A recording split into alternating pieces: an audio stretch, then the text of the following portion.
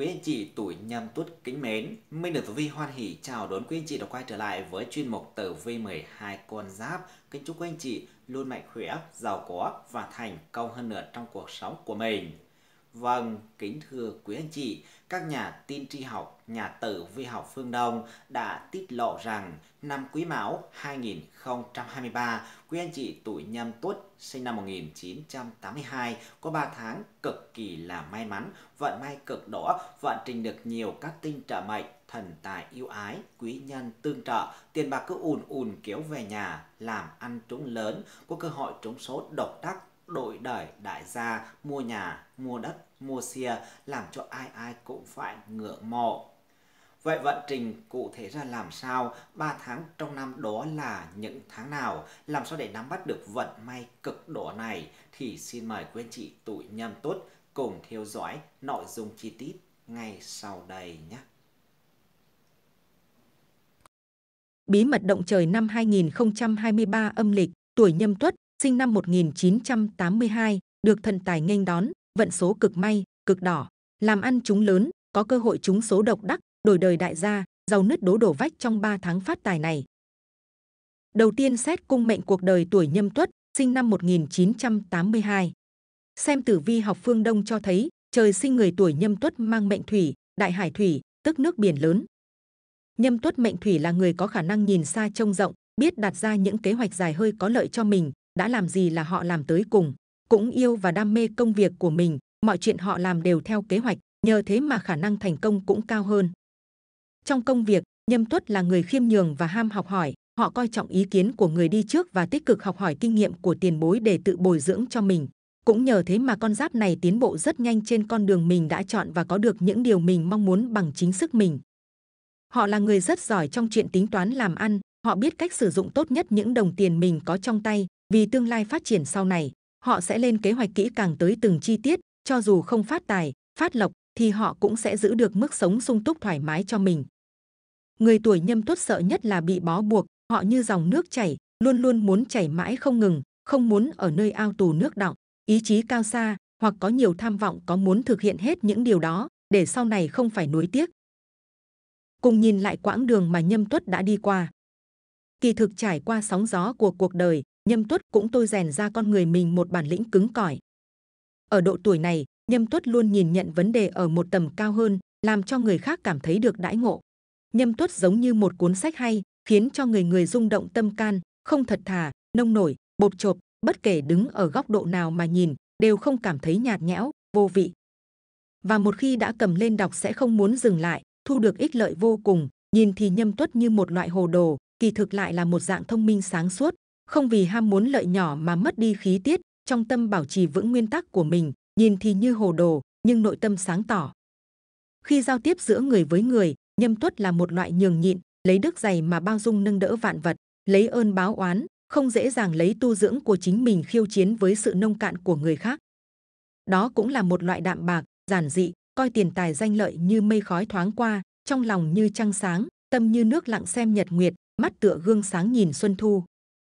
Với nhâm tuất, đó là một loại thong dong, tâm tính tựa như ánh mặt trời ló dạng, cầm được thì cũng buông được, cần tiến thì tiến, cần lui thì lui, ổn định trầm tĩnh, bên gan vững chí, dẫu Thái Sơn có đổ ngay trước mặt cũng không đổi sắc.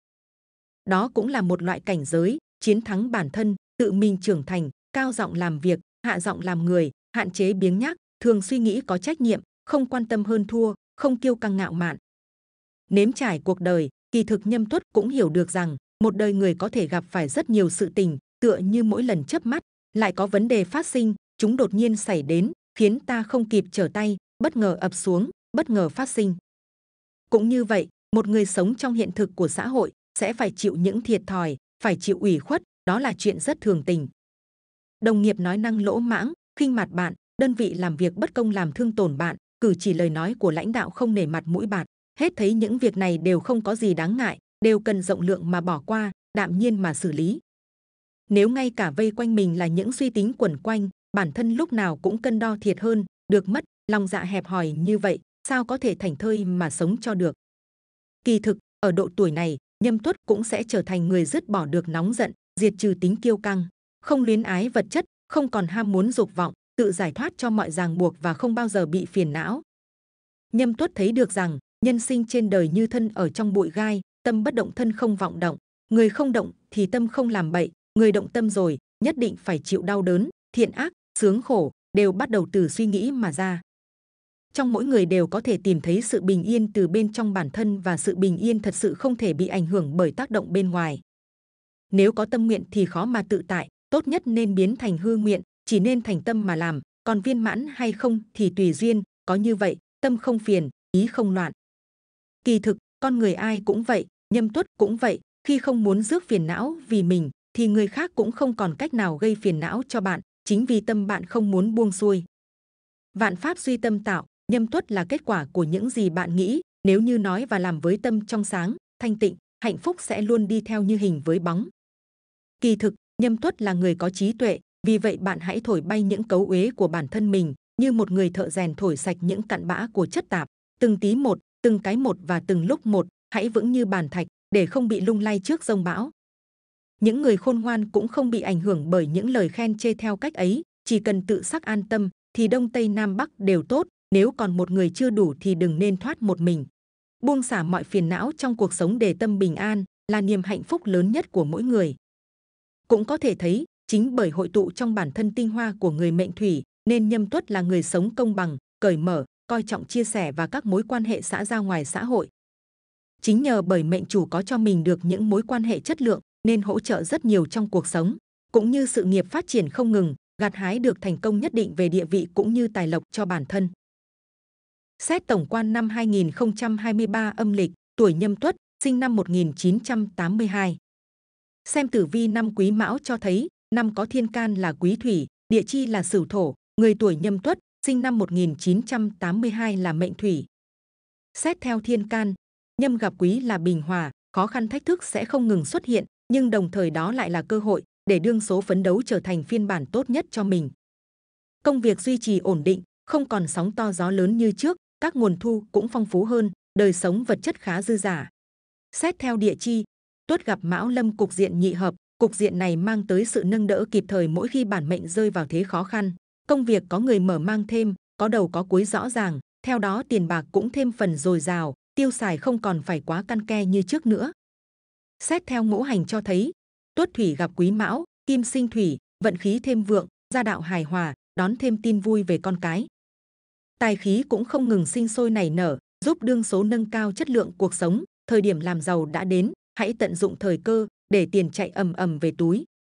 Nhìn chung năm 2023 âm lịch, phương diện sự nghiệp của người tuổi nhâm tuất, sinh năm 1982, có nhị hợp tương trợ, bạn xây dựng được những mối quan hệ xã giao hài hòa, đi đến đâu cũng được người người giúp đỡ, khó khăn cũng không quá đáng lo, quý nhân luôn xuất hiện đúng lúc, chỉ cho bạn một lối đi.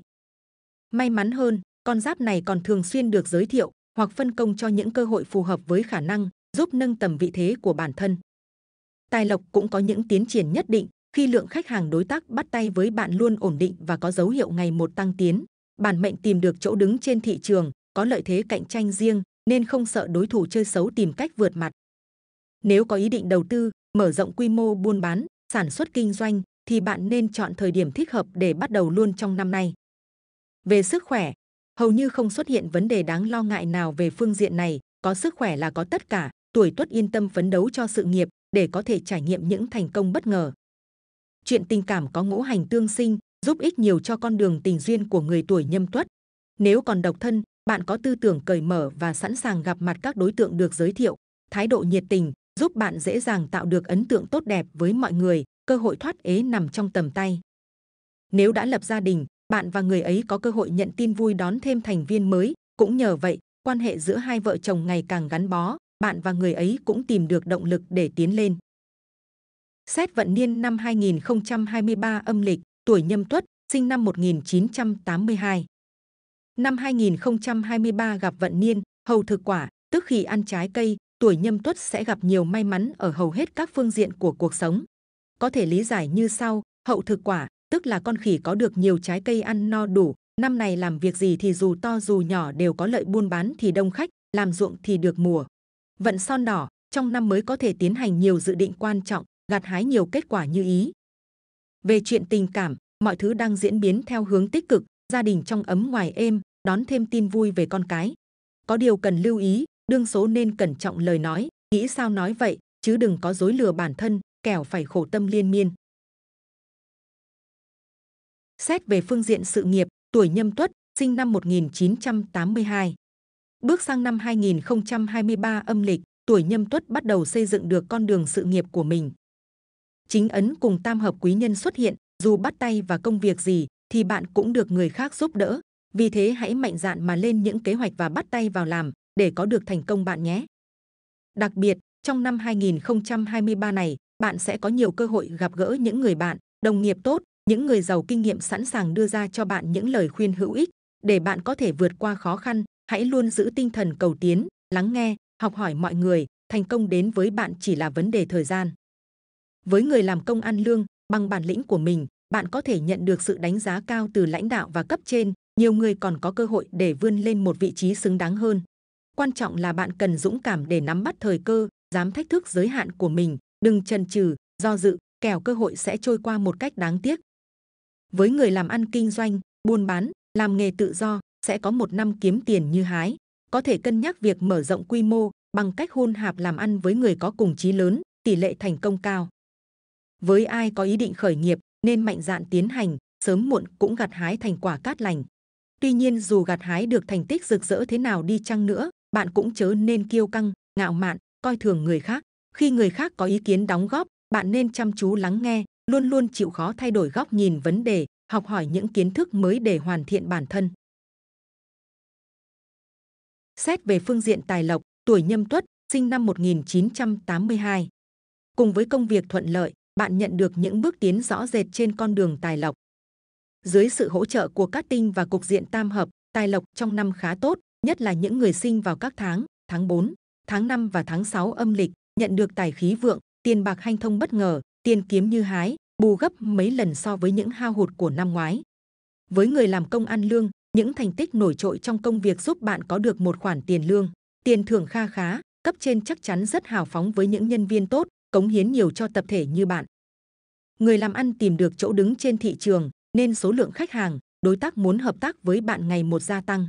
Bạn biết phát huy thế mạnh của bản thân, nên không còn quá sợ hãi trước những chiêu trò chơi xấu của đối thủ. Thậm chí càng khi khó khăn, bạn lại càng có quyết tâm vươn lên khẳng định mình, tình hình tài chính tăng tiến rõ rệt, khiến bạn ngày càng tin tưởng hơn vào định hướng của bản thân. Với những ai muốn khởi nghiệp thì cũng có thể xem xét bắt đầu ngay trong năm nay. Quan trọng là bạn cần vạch rõ các bước và các mục tiêu của mình, có như vậy thì khi gặp khó khăn cũng sẽ không đánh mất định hướng. Quá trình thực hiện tất nhiên không tránh khỏi khó khăn, song xung quanh bạn luôn có người đứng ra giúp đỡ. Khi mọi việc dần dần vào cuộc, bạn sẽ cũng bắt đầu thu lãi. Có điều, dù túi tiền có dùng dình tới mấy, bạn cũng cần phải chú ý trong chuyện chi tiêu. Tiểu hao xuất hiện, nếu bạn có tiêu tiền không biết tiết chế, thích gì mua nấy, chạy theo xu thế thì chẳng mấy chốc bạn cũng sẽ tiêu sạch những gì mình có trong tay. Muốn phát triển bền vững, bên cạnh việc cố gắng làm ăn, bạn cũng cần chú ý tới lĩnh vực đầu tư hợp lý tiết kiệm. Xét về phương diện tình duyên, gia đạo, tuổi nhâm tuất, sinh năm 1982. Xem tử vi học phương Đông, gia đạo tuổi nhâm tuất khá ổn, không nảy sinh những sự việc nghiêm trọng dẫn tới chia ly, đổ vỡ. Trong năm vận đào hoa của nam giới vượng hơn nữ giới, nhưng đa phần là đào hoa xấu, có thể thu hút các mối quan hệ mờ ám, không tốt cho cả người độc thân lẫn những ai đã kết hôn. Nếu không thoát được cám dỗ tử sắc, e rằng hạnh phúc gia đình bị đe dọa.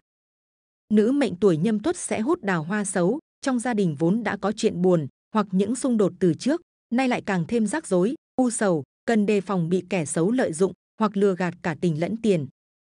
Người độc thân với những suy nghĩ tích cực, lạc quan về chuyện tình cảm, bạn không ngại mở rộng mối quan hệ với mọi người xung quanh, nên khi được giới thiệu cho các đối tượng, bạn cũng chẳng còn thái độ phản cảm như trước nữa.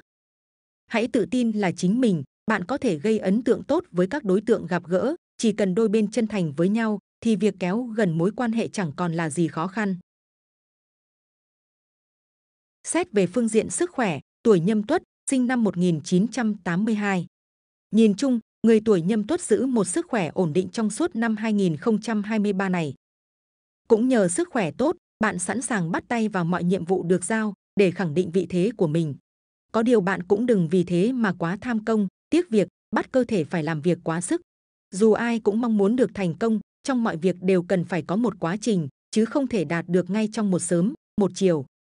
Dù làm công việc gì đi chăng nữa, bạn cũng nhớ sinh hoạt khoa học, chớ thức khuya dậy sớm quá mức, nên dành thời gian để thư giãn và vận động phù hợp.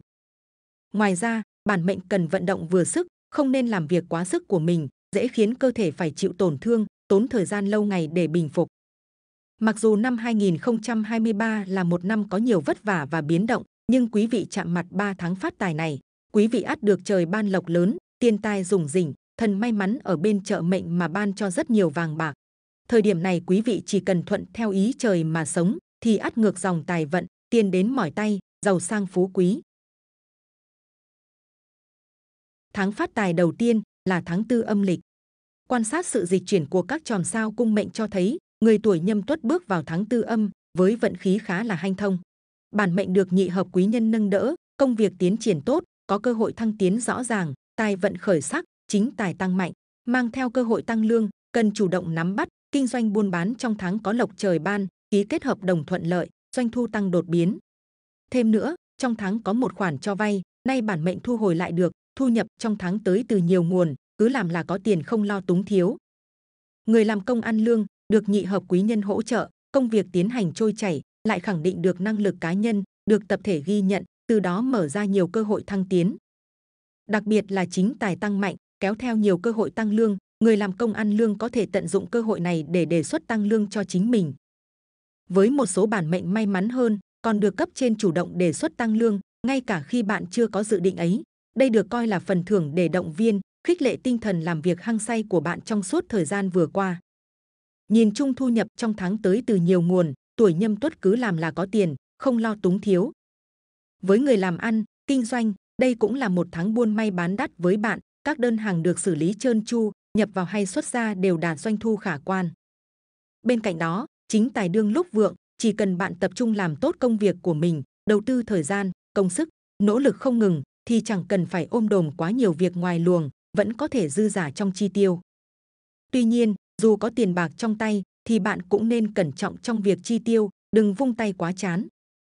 Tuy nhiên thứ tài có dấu hiệu ổn định hơn so với tháng trước, tuy nhiên đầu tư mạo hiểm vẫn có thể dẫn tới phá tài bất cứ lúc nào, nhất là các hạng mục như chứng khoán, tiền ảo, tỷ lệ lỗ nhiều hơn lãi, nên biết dừng đúng thời điểm. Tháng có thiên diêu chủ đào hoa chiếu mệnh, giúp tình cảm như khai hoa kết trái, các cặp đôi dễ nên duyên, hòa hợp. Với người độc thân thì vui vẻ tinh thần phơi phới, nên đây cũng là cơ hội tốt để bạn có thể cải thiện bản mệnh, kết nối tơ duyên của mình. Mọi chuyện diễn ra tốt đẹp với bạn trong tháng, nên tinh thần cũng rất thoải mái, góp phần cải thiện sức khỏe. Có điều đừng vì nó tốt mà bạn lãng phí, hãy biết cách nghỉ ngơi, cũng như sử dụng các thực phẩm tốt cho sức khỏe, nếu ý chế độ cân bằng dưỡng chất bạn nhé. Tháng phát tài thứ hai là tháng năm âm lịch. Bước sang tháng năm âm lịch, con đường công danh, sự nghiệp của tuổi tuất thăng tiến không ngừng. Khi mà Nguyệt lệnh lâm đất quan đới, con giáp này biết cách phát huy năng lực của mình, không hoài phí cơ hội đang đến. Chuyện làm ăn kinh doanh cũng có nhiều may mắn hơn, thực chất là do bản mệnh có sự căn cơ, tính toán, nhìn xa, trông rộng, nên thu được tiền về tay và có phần nhanh chóng hơn so với người khác. Lá số tử vi cũng cho thấy con giáp này có năng lực, lại biết cách phát huy những thế mạnh của mình, nên có thể được cấp trên ưu ái giao cho thêm nhiều trọng trách. Song điều đó chẳng những không khiến bạn nản lòng, mà còn khiến bạn vững tâm bước tiếp. Tuy nhiên, quý vị cần phải kiểm soát cảm xúc của mình cho thật tốt, chớ để cảm xúc lọt vào trong công việc, nếu không bạn sẽ phải trả giá đắt, thậm chí là đánh mất vị trí mà mình đang có. Nên bình tĩnh suy xét mọi vấn đề có thể gặp phải, bởi có những chuyện dù chúng ta không mong muốn thì nó vẫn cứ xảy ra, chỉ có cách giải quyết tốt nhất chứ không thể nào trốn tránh mãi được. Người làm công ăn lương, xây dựng được mối quan hệ xã giao hài hòa, vì vậy dù có phải đối diện với khúc mắc gì, cũng có người sẵn sàng giang tay giúp đỡ, thậm chí bản mệnh còn có cơ hội gặp gỡ quý nhân, đối phương sẽ giới thiệu cho bạn những cơ hội đầy triển vọng. Với trí tuệ minh mẫn và tinh thần hăng hái, tích cực, bạn có thể nhanh chóng ghi điểm trong mắt lãnh đạo khi hoàn thành xuất sắc mọi nhiệm vụ được giao. Điều quan trọng nhất là bản mệnh cần chú ý trong thời điểm này chính là duy trì tính kiên nhẫn của mình, chớ nên thấy chán hoặc thấy khó mà bỏ dở giữa chừng. Về tài lộc, vận trình tài lộc của người tuổi nhâm tuất có những điểm sáng rực rỡ trong tháng này, đó là kết quả của tổng hòa tinh thần, nhiệt tình, hăng hái, sẵn sàng thử thách bản thân, cũng như các yếu tố thiên thời, địa lợi. Tam hợp mang tới cho bản mệnh những cơ hội làm ăn, đầu tư đáng mơ ước mà hiếm người có được. Chỉ cần bạn nắm bắt cơ hội, thì chuyện tiền bạc dùng rỉnh sẽ trở thành hiển nhiên. Đây là thời điểm thích hợp để người làm đầu tư, kinh doanh, ký kết hợp đồng, nếu đã nung nấu kế hoạch từ lâu hoặc đã tìm hiểu rõ ràng về đối tác, khách hàng của mình thì nên nắm bắt cơ hội ngay. Tháng này sẽ mở ra nhiều thời cơ thích hợp để bạn cải thiện tình hình tài chính của mình. Một số người có con mắt tinh đời, với óc sáng tạo và tinh thần không ngại khó khăn, có thể nhanh chóng mở lối đi riêng, là người tiên phong trong một trào lưu mới. Chính vì là người dẫn đầu, nên bạn thu về lợi nhuận nhanh chóng hơn hẳn các đối thủ, khiến ai cũng phải ngưỡng mộ. Người làm công ăn lương cũng sẽ nhận được khoản tiền lương, tiền thưởng nóng, xứng đáng với năng lực và sự đóng góp của mình. Có thể coi đây là lời cổ vũ, động viên thiết thực nhất, giúp bạn tiếp tục có động lực cố gắng hơn trong khoảng thời gian tiếp theo. Hãy luôn kiên định với những hướng đi của mình, kể cả khi vướng phải những khó khăn nhất thời, rồi bạn sẽ dần gặt hái được trái ngọt. Hơn nữa bên cạnh bạn vẫn luôn có bạn bè, đồng nghiệp, người thân tích cực ủng hộ. Tháng phát tài cuối cùng là tháng 10 âm lịch. Xem tử vi học phương Đông cho thấy, bước sang tháng 10 âm lịch, vận trình công danh, sự nghiệp của tuổi nhâm tuất không được như ý cho lắm. Dù bản mệnh vẫn giành được những thành quả nhất định, có sự quyết tâm và nỗ lực của mình, nhưng so với mục tiêu đã đề ra thì vẫn còn xa. Thái Dương cát tinh ở bên, bản mệnh sẽ gặp được quý nhân chính là cấp trên, đồng nghiệp, những người hiểu và công nhận năng lực của con giáp này, bạn được trọng dụng và trao cho những trọng trách quan trọng. Tuy nhiên, Nguyệt lệnh lâm đất mộ cho thấy vận trình khó bề được như ý, con giáp này cần phải thay đổi cách nói chuyện, ứng xử của mình, sự cố chấp, khô khan sẽ khiến bạn bỏ lỡ nhiều cơ may. Người làm kinh doanh trong tháng này có chính ấn tương trợ cho các dự án mà con giáp này tham gia sẽ được giúp đỡ nhiều, thậm chí có những việc bạn lường trước là rất khó khăn thì bỗng trở nên dễ dàng đến kỳ lạ. Tháng mới xuất hiện một đối tác phù hợp cho các dự án của mình, nhưng bạn phải thật sáng suốt trước khi bắt tay vào hợp tác với bất cứ ai. Hãy đảm bảo rằng mình đã từng làm việc với họ qua một vài dự án nhỏ.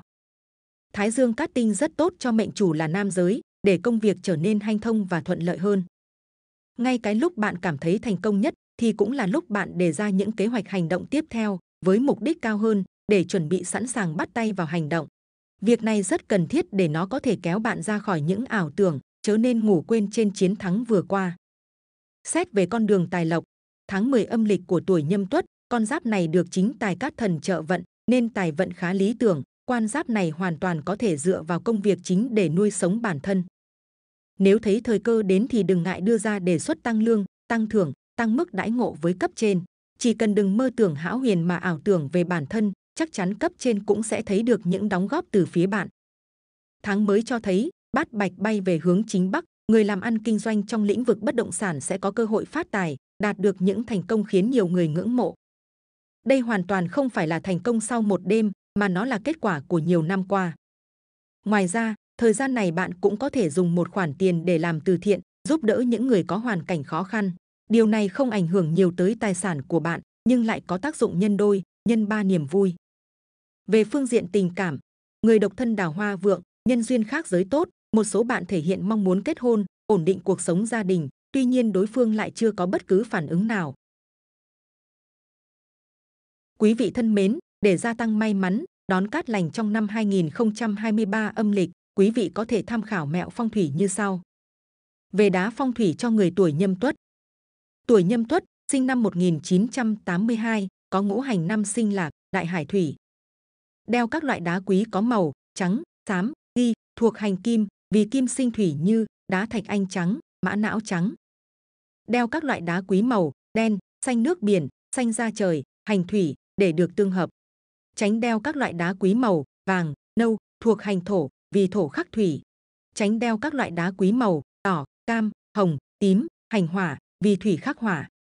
Phật hộ mệnh đeo bên người cho tuổi nhâm tuất bao gồm Phật tổ Như Lai, Phật Di Lặc, Phật A Di Đà, Phật Bất Động Minh Vương, Tỳ Hưu, 12 con giáp, vòng tay phong thủy, cóc thiềm thử, Chúa Giêsu.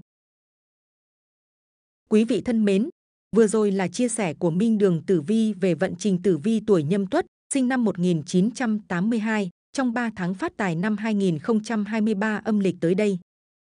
Hy vọng rằng với chia sẻ của chúng tôi ngày hôm nay, quý vị có thể nắm rõ được vận may của mình, từ đó mà đón lành tránh dữ, gia tăng may mắn trong cuộc sống. Nếu có băn khoăn hay thắc mắc, quý mệnh chủ vui lòng để lại thông tin ngày tháng năm sinh xuống phía dưới phần bình luận để ban biên tập chương trình luận giải chi tiết trong thời gian sớm nhất. Chương trình đến đây là hết. Xin chào tạm biệt và hẹn gặp lại quý vị trong chương trình lần sau. Xin trân trọng cảm ơn.